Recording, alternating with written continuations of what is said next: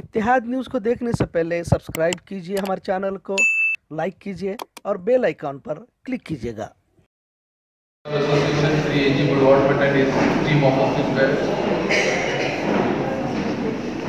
Respected uh, seniors, invitees, uh, member of members of press and media, ladies and gentlemen.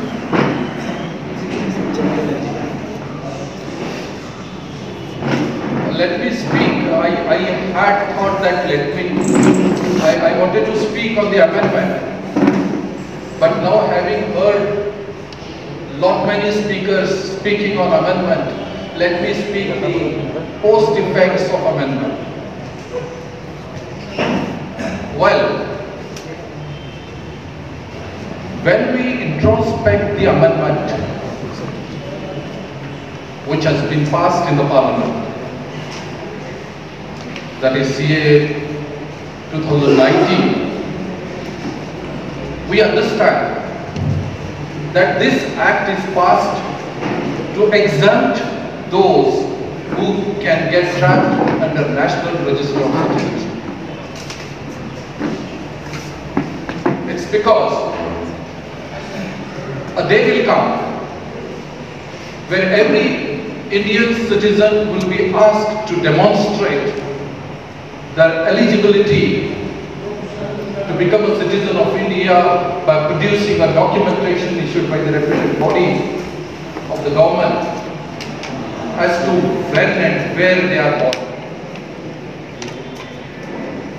Well, lot many Indians do not have birth certificates, especially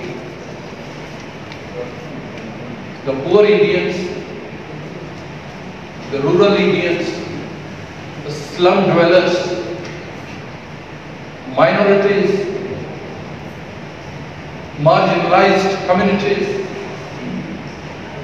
they don't have birth certificates.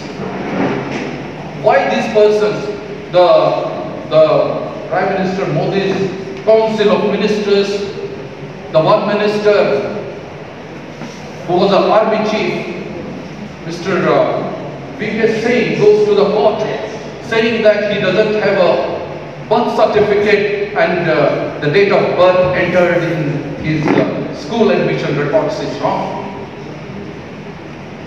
See, when we are staying in a country where we do not have papers to establish our date of birth, place of birth, how can we make that as an test for citizenship? How can we make that as a test for citizenship? We know for sure that many of Indians will fail that test and we have already seen it in Assam where 19 lakhs people were found ineligible to become citizens of India. Therefore I say that this act is designed, this amendment is designed to exempt those who can get trapped under National Register of Citizenship. For example, for example, a person living in Mumbai will be brought before the National Register of Citizenship authorities having no document of his birth. His or her birth. The authorities will ask the person as to prove that you are not from Bangladesh. How will you prove that you are not from Bangladesh? He or she will say that, well, I am, I am, I am born here. Why me, my parents are born here, my grandparents are born here. But where are the records? No birth certificates. Nothing. Well, the authorities then may say, it's okay, you can stay here. You can continue to stay here. Well, we permit you to stay. But, but if you are Muslim, you are, you are not qualified under the Citizenship Amendment Act. If you are Muslim, you are excluded from staying here in this country. That gives an excuse to the authorities to strip the valuable rights of that citizen, to strip their valuable rights to vote, their valuable rights to own the property, their valuable rights to live in the country, their valuable rights to have an employment in this country. Isn't it an injustice? It is an injustice. Many have said that in these three countries, those who have been prosecuted on the basis of religion will be given a citizenship here in India. Well, I have records to show that Ahmadi Muslim sect and Shia Muslims are prosecuted in Pakistan. And if they want to come to their country, because before independence, Pakistan, Bangladesh and Afghanistan were one. This is their homeland. If they want to come back to India, they are not qualified because Muslims are eliminated. Mr. Mawin Kati, we are not against government giving citizenship to those six categories.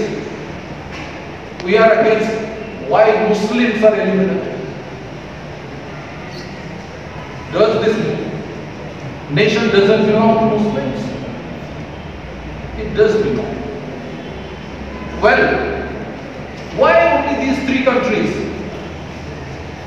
Whether only these three countries are neighboring countries to India? Why not Nepal? Why not Burma? Why not Sri Lanka? Why not Myanmar? Why not Tibet? Why not China? Do they mean to say that there are no illegal migrants from these countries to India? Do they mean to say that there are no religious prosecution in those countries? There are. I have a record. I have a record to show. I am speaking on the basis of the data. I have a record. As I already said, Ahmadi Muslim sect and Shia Muslims are being prosecuted in Pakistan. Madhesis Hindus are being cross, cross religiously prosecuted in Nepal. Rohingya Muslims and Hindus facing religious prosecutions in Burma. Hindu, Christians and Tamilians are facing religious prosecution in Sri Lanka. Buddhists are facing prosecution in Tibet. Why these countries have not been included? I have an answer for that. If they include these countries, if suppose Sri Lanka, Burma, etc. included, these legislators cannot say that they are Muslim dominated countries and in that context they may have to include Muslim along with those six categories which they do not want to. Isn't it not injustice?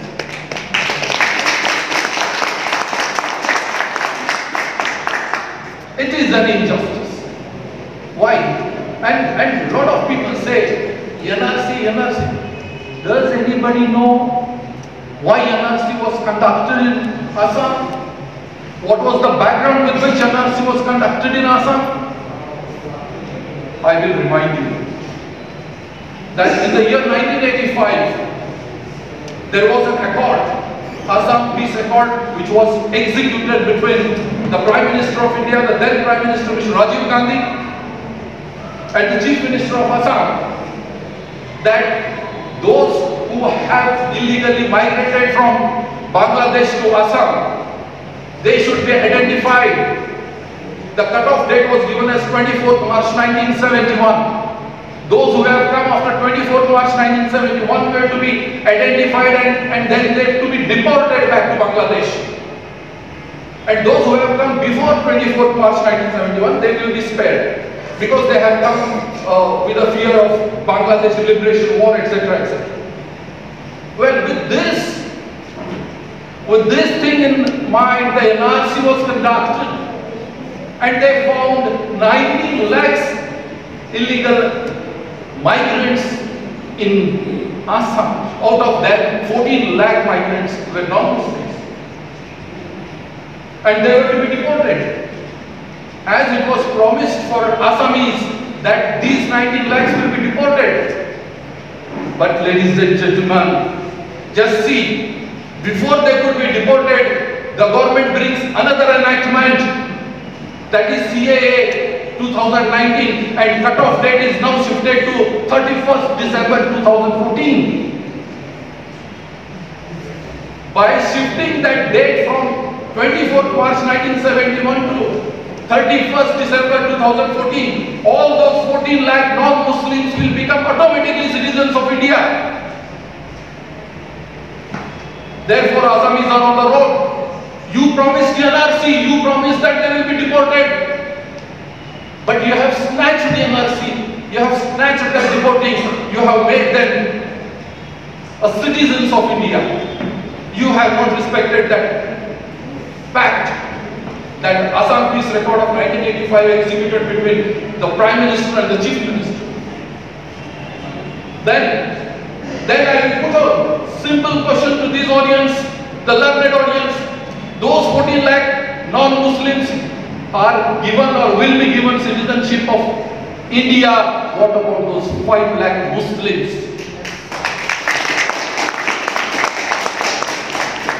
What about those 5 lakh Muslims? Where do they have to go? Bangladesh has said that they will not accept them and India is not going to keep them. Sir, isn't it an injustice? See, Indian constitution respects every religion equally. Indian constitution has given a guarantee to profess any religion whatsoever I like to profess. How I profess, what religion I profess is my business and not the business of the state. How some worship their idea of divinity is their business. Some may stretch the hands towards God. Some may bow down five times a day. Some may make a sign of a cross. Some may ash, some may, some may spear their forehead with ashes, and some may conduct archanas in the temple. Entirely it is their business and not the business of the state. And this core principle of constitution is under threat today because of religious discrimination which this Amendment Act of 2019 is making. And with this, I condemn and oppose this amendment bill, Citizenship Amendment, sorry, Amendment Act of 2019. Thank you very much.